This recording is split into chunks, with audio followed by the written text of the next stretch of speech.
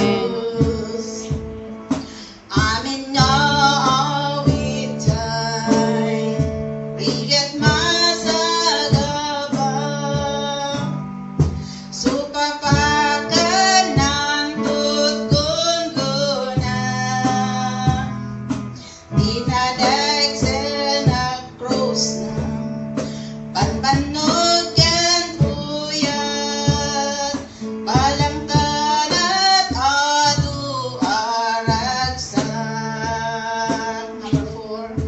Yang di tay mapadas Dakil nga ayat na